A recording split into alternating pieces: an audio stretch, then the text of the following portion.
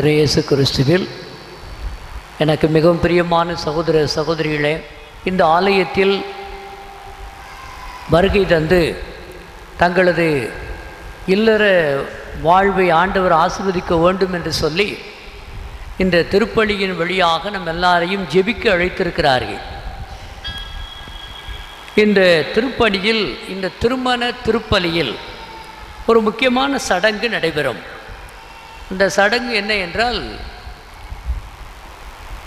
திருமணம் செய்ய இருக்கின்ற அந்த மண மகன் தன்னுடைய பலதுகரத்தால் மணமகளுடைய வலதுகரத்தை இருக இறுக பிடித்து கொள்ளுவான். இருவருடைய வலதுகரமும் இணைந்திருக்கும். அப்பொழுது அவர்கள் வாக்குறுதி கொடுப்பார்கள். ஆண்டருடைய சன்னிதானத்தில் கொடுக்கிறார்கள் திருச்சபையின் முன்னால் குருக்கள் முன்னால் கொடுக்கிறார்கள். என்ன வாக்குறுதி கொடுக்கிறார்கள் என்றால் இன்பத்திலும் துன்பத்திலும் வாழ்விலும் தாழ்விலும் எல்லா நேரத்திலும் நான் உனக்கு கணவனாய் இருப்பேன் என்று சொல்லி வாக்குறுதி கொடுப்பார். அதே வாக்குறுதி அந்த பெண்ணானவள் கொடுக்கிறாள்.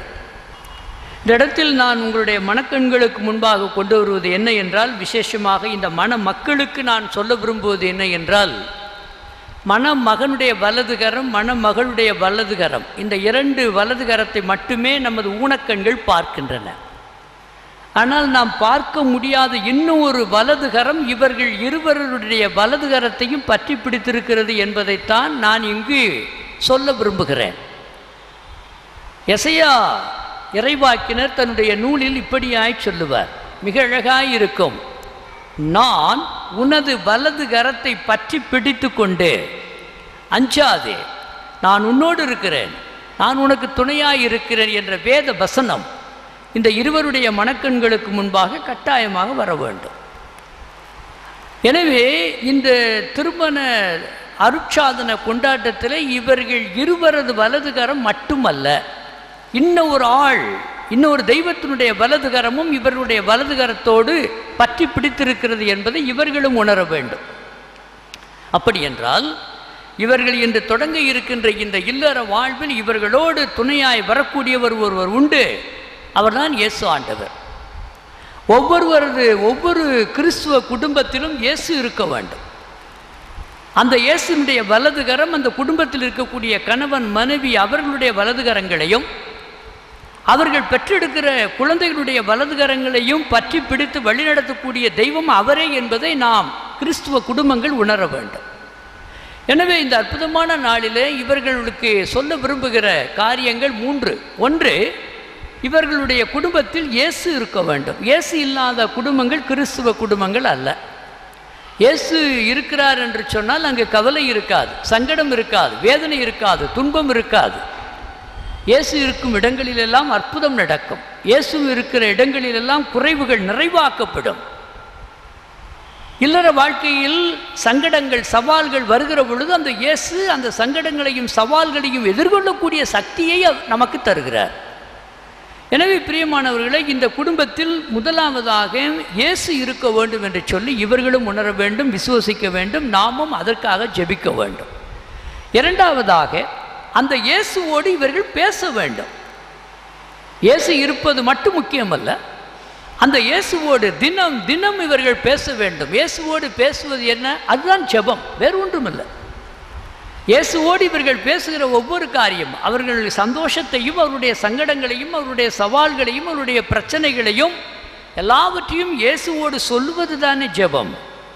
அப்படி சொல்லுகிற பொழுது இயேசு ஆண்டவர் அவருடைய வலது கரங்களை பற்றி பிடித்து கொண்டு அந்த சந்தோஷ நேரங்களில் மட்டுமல்ல சங்கட நேரங்களிலும் அவர் சொல்லுவார் மகனே மகளே அஞ்சாதே நான் உன்னோடு தான் இருக்கிறேன். ஒருவேளை நீ உணராமல் போகலாம். ஆனால் நான் உன்னோடு இருக்கிறேன் கவலை கொள்ளாதே. இந்த சங்கடங்கள் சிறிது காலம்தான். இந்த துன்பம் சிறிது காலம்தான். உன்னால் சுமக்க முடியாததை நான் உனக்கு கொடுக்க மாட்டேன். கவலைப்படாதே என்று சொல்லி ஆறுதலும் தேறுதலும் தந்து வழி நடத்துகிறவர் அந்த இயேசு ஆண்டவர். அவரோடு நீங்கள் தினம் தினம் பேச வேண்டும். இரண்டாவதாக அவர் பேசுவதை நீங்கள் கேட்க வேண்டும். முதலாவதாக இயேசு இருக்க வேண்டும் என்று சொன்னேன். இரண்டாவதாக அந்த இயேசுவோடு பேச வேண்டும் என்று சொன்னேன்.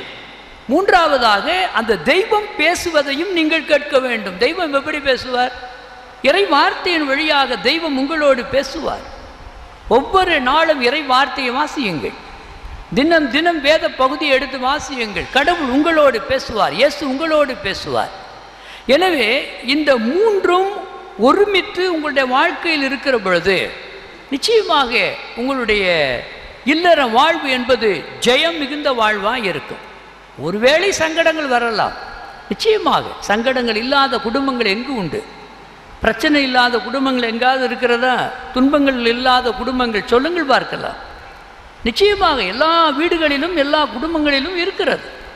இங்கு நாம் விசுவசிக்க வேண்டிய காரியம் என்ன என்றால் அந்த துன்பங்கள் துயரங்கள் சங்கடங்கள் எல்லாவற்றின் மத்தியிலும் உங்களுடைய வலதுகரங்களை பற்றி பிடித்து ஒருவர் இருக்கிறார் அல்லவா? அவர் உங்களோடு இருந்து அனைத்தையும் ஒன்றுமில்லாமல் ஆக்குவார். ஒன்றுமில்லாமல் ஆக்குவார் துன்பங்களை இன்பமாய் மாற்றுவார். சங்கடங்களை சந்தோஷமாய் மாற்றுவார். தீமைகளை நன்மைகளாய் மாற்றுவார். நோய்களை சுகங்களாய் மாற்றுவார். அப்படிப்பட்ட ஒரு விசுவாச மிகுந்த வாழ்வுக்குத்தான் ஆண்டவர் நம்மை அழைத்திருக்கிறார். அந்த ஒரு சாட்சிய வாழ்வுக்கு உங்கள் இருவரையும் இன்று விசேஷமாக இணைத்து வைக்க காத்திருக்கிறார். எனவே இந்த உண்மைகளை உணர்ந்து நீங்கள் தினம் தினம் இயேசு எங்களோடு இருக்கிறார். இயேசு எங்களோடு பேசுகிறார். நாங்களும் இயேசுவோடு பேசுவோம் என்ற அந்த விசுவாச சத்தியங்களை மனதில் இருத்தி இந்த திருமண திருப்பலி கொண்டாட்டத்தில் தொடர்ந்து செபியுங்கள். ஆண்டவர் உங்களை ஆசிர்வதிப்பாராக. ஆமென்.